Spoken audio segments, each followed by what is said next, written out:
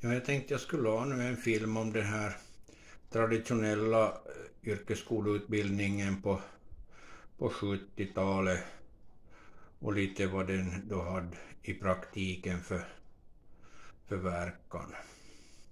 Och det här skulle då ha varit film nummer ett.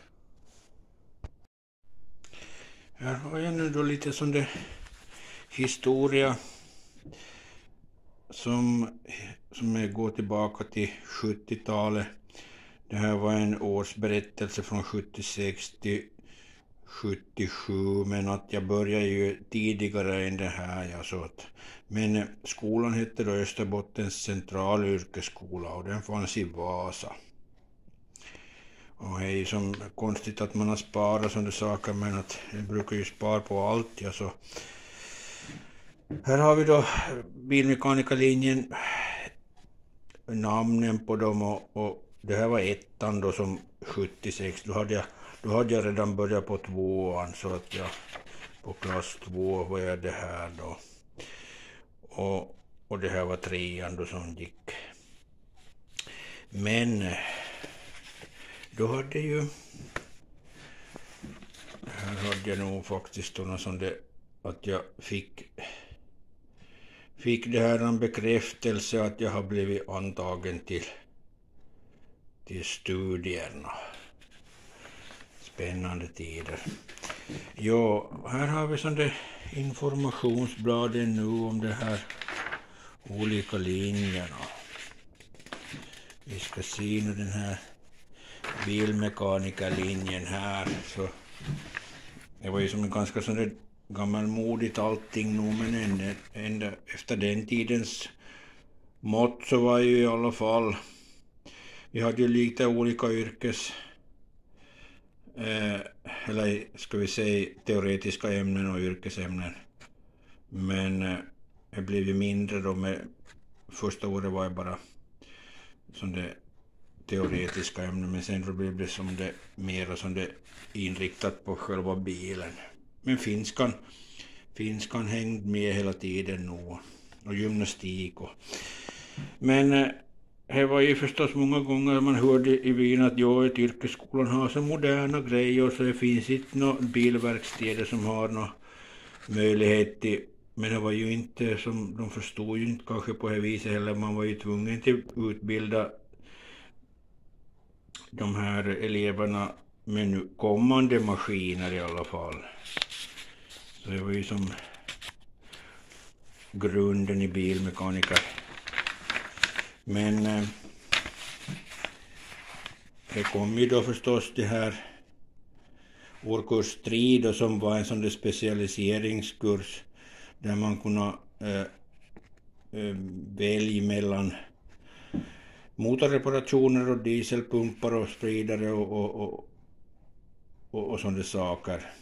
Men då kom vi då den här elsidan som kom första året i bruk där man då började bekanta sig med olika sorts laddningssystem och tändsystem och, och sådana saker. Här hittade jag också någonting som jag sparade. Eh, att jag beviljats plats på elevhemmet. Yrkesskolans elevhem. Och här så har vi något reglemente, så det var så viktigt med att man höll sig till reglementet och inte läsa, läsa utan till. Ordningsregler. Och här har vi till exempel några nå betyg. Jag var nog kanske sämst på klassen men att jag var intresserad i alla fall så det var nu som var huvudsaken. Och, och kanske en av de få som faktiskt då höll på med, med det här bilel längst kanske. Jag måste tillägga nu lite att man fick ju sluta med grundutbildning för, för tvåårig utbildning bilreparationsutbildning. Men, men det här nya systemet då som var här att man fick välja ett sånt tilläggsår då som tredje året som var enbart specialiserad på antingen el eller chassi, motor, eh, kraftöverföring och sådana saker. Och, och, och, då kom ju faktiskt ganska mycket nya saker på 70-talet då när det började komma olika laddningssystem som hade elektroniska funktioner. Så, så där, då får det som med, en stormsteg framåt. Nå, då hade vi, vi hade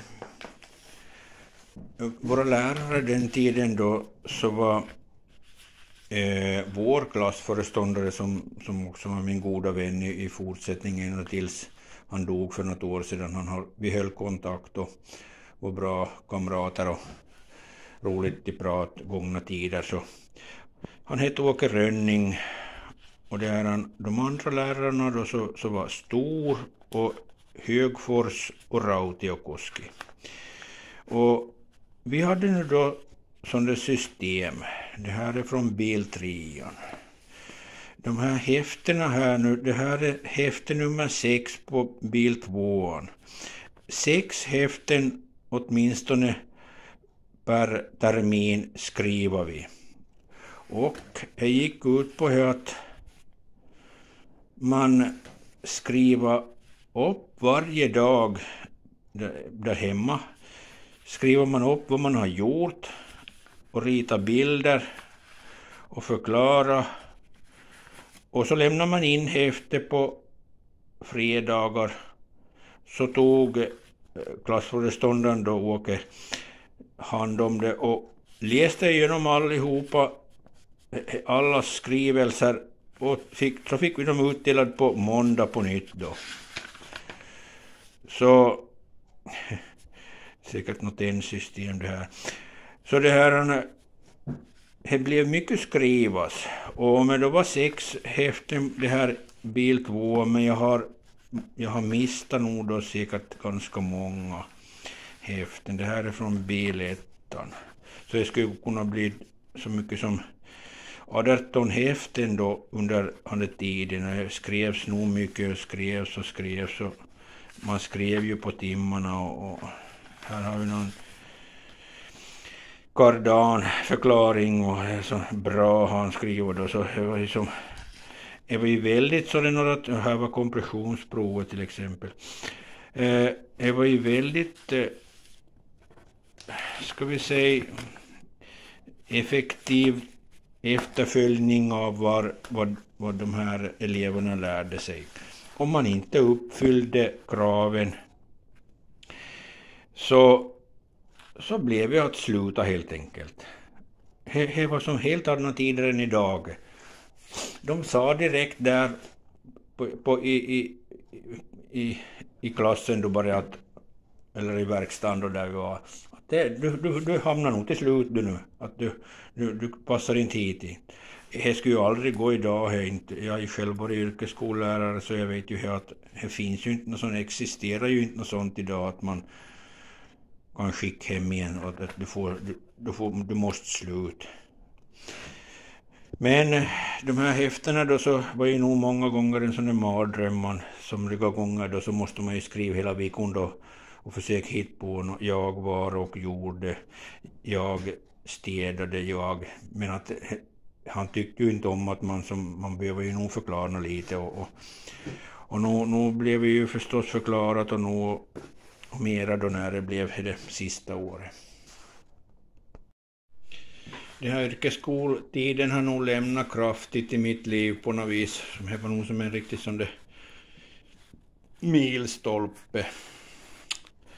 Eh, här då så har jag en mapp som är från, från 70-talet som innehåller då eh, vår, vårt sista år, den här bilelektriska sidan. Uh, och, och det här är ju förstås kopiorna börjar ju komma nog då också nog, men att det blir ju som sagt mycket skriva. Och nu, nu är det ju förstås mycket luntor här som, som man har som kämpat med och så det nog men att i alla fall så börjar ju då, jag har ju indelat här då i olika sorts kategorier lite och, och, och det här. Och det gäller ju då, ska vi säga, det här, det här var lite motorteori i början men, men sen så kommer vi in på, jag sparar lite som det och sen så kommer vi då in på det bilelektriska sidan som som då omfattar alla världens olika sorts olika sorters eh, ska vi säga det här märken.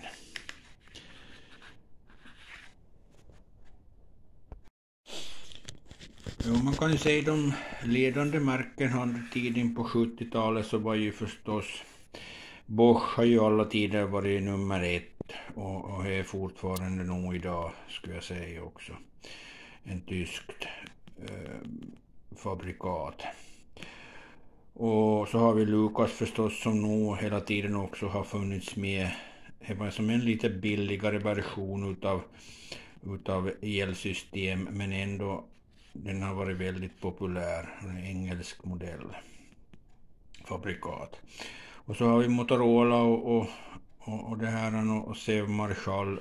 Åtminstone Motorola är amerikansk men Sev Marshall vet jag nu inte riktigt om är amerikansk eller en blandning. Och så har vi förstås Hitachi då som börjar komma också nog mera på 70 80-talet. Japansk och Nippon Denso. Men då har vi de här gamla trotjänarna då Paris Rone som var fransk och Ducellier som var fransk eller var det italiensk. Och, och, så har vi Pall då som var östländsk. Vad, vad det nu var då så vet jag riktigt, riktigt noggrant.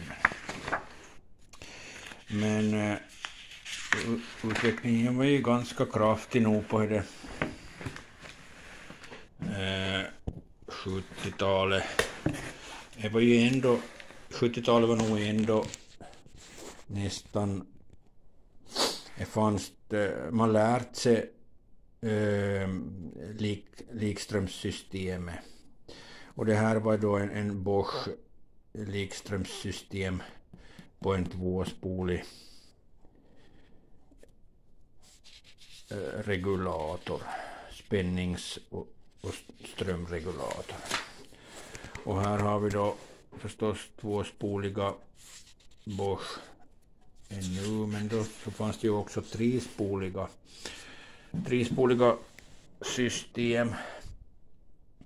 Och det här var då på det viset att det var ju, det var ju ett eh, tillslagsrelä och ett, en strömregulator och en spänningsregulator. Så det var ju som tre, det var en ganska stor låda. Och det här, men då kommer ju nog förstås då på, på 70-talet då redan Sabarna till exempel så hade ju den här eh, generatorn då redan och, och började nog kom då, det var ju nog en sån där långlivad version som finns nästan idag och allt ännu. Och då är det ju förstås, det kom ju då förstås diod Eh, metoden in i bilden. Att man likriktar strömmen. Men jag tänkte se lite om jag hittar det. Här har vi en Lukas Trispolig. laddningsregulator. Men att det var någonting jag tänkte fundera på just nu. Ja, no, i alla fall så var ju förstås jag att eh, man reparerar ju... Vi använder mycket Volvos underlag nog i, i utbildningen tiden för det var ju svenskt och färdigt, färdigt översatt. Så, så det, deras eh, metoder var ganska allmänt nog men att uh, men som sagt, jo att det eh, reparerades ju mycket under tiden nog på grund av att eh, det var inte den bytesprincipen att man byter ut delar. Det fanns ju inte hela delar. Man, man hamnar ju nog till, till det här äh, eh, reparer. Och det var ju då oftast kollektorsvarvningar och kolbyten och, och, och, och sån där regulatorjusteringar, att man ställde upp den i, i provbänken och, och körde in, ställde in spänningsregulatorn och, och fila spetsarna och som det traditionellt. Men då kom ju också det här oscilloskopet. Vi fick ju utbildning i oscilloskopet och som jag då också på min första bilverkstad då som jag hade själv 85 då så köpte vi ett ganska dyrt sånt där oscilloskop som nu förstås inte gav någonting heller, några nå, nå större saker men att man såg ju mycket, man såg ju laddningskurvor och man såg fel i laddningen och man såg fel i tändningen och så allting mycket som det, som sådana saker. Men eh, det är förstås, man är ju uppväxt med de här brytarspetsarna kan man väl säga och därför så ligger de nog ganska nära om hjärtat. Vi, vi hade ju bland annat att vi, vi skulle kunna utan tillsmistan den här strömfördelaren och alla eh, regulatorfunktioner och likadant eh, den här laddningsregulatorns funktion och, och inställning och det var som helt ett måste då till Kanhe men att man hade ju ingen nytta av det då när när det gick några år så var det som föråldrat. Men man kan ju idag förstås.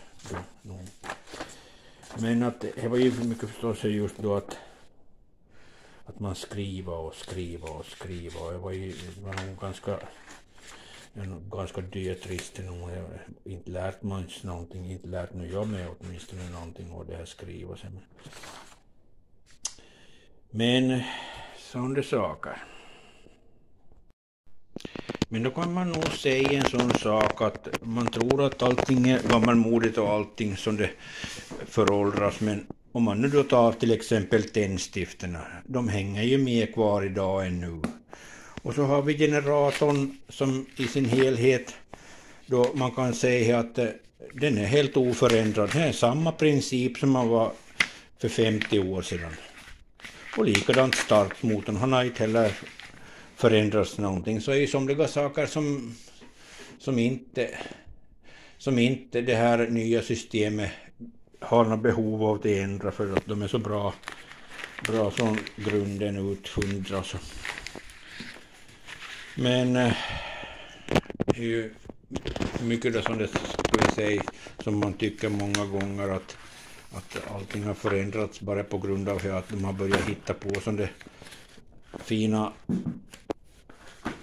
fina det här äh, komponenter så, så ska de ju måste användas då, fast inte någon nytta av dem många gånger kan man tänka sig på det viset. Här är ju också boken vi använde. Den var ju på finska men, men motorcyklar har ju alla tider funnits med och jag, jag ska väl nog ta en förklaring om mina motorcyklar en gång, någon gång i framtiden. Men det här var ju då som en ganska som modern bok som tiden då hade kommit ut och, och det här så den använde vi. Och, och det som det var en sån där lättförståelig bok som, som var bra.